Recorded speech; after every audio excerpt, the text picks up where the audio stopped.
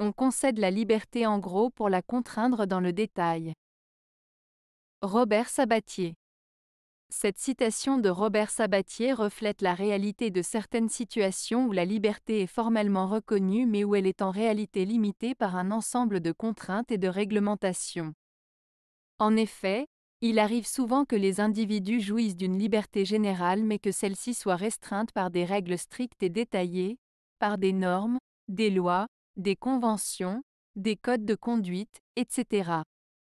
Ainsi, même si la société accorde une certaine liberté à ses membres, elle se réserve le droit de la limiter ou de la contrôler à travers divers mécanismes.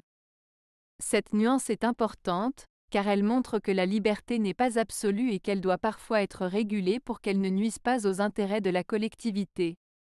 En somme, cette citation exprime l'idée que la liberté doit être constamment équilibrée avec d'autres valeurs telles que la sécurité ou l'ordre public, et que ce n'est qu'à travers une conciliation minutieuse que l'on peut garantir une société libre et juste.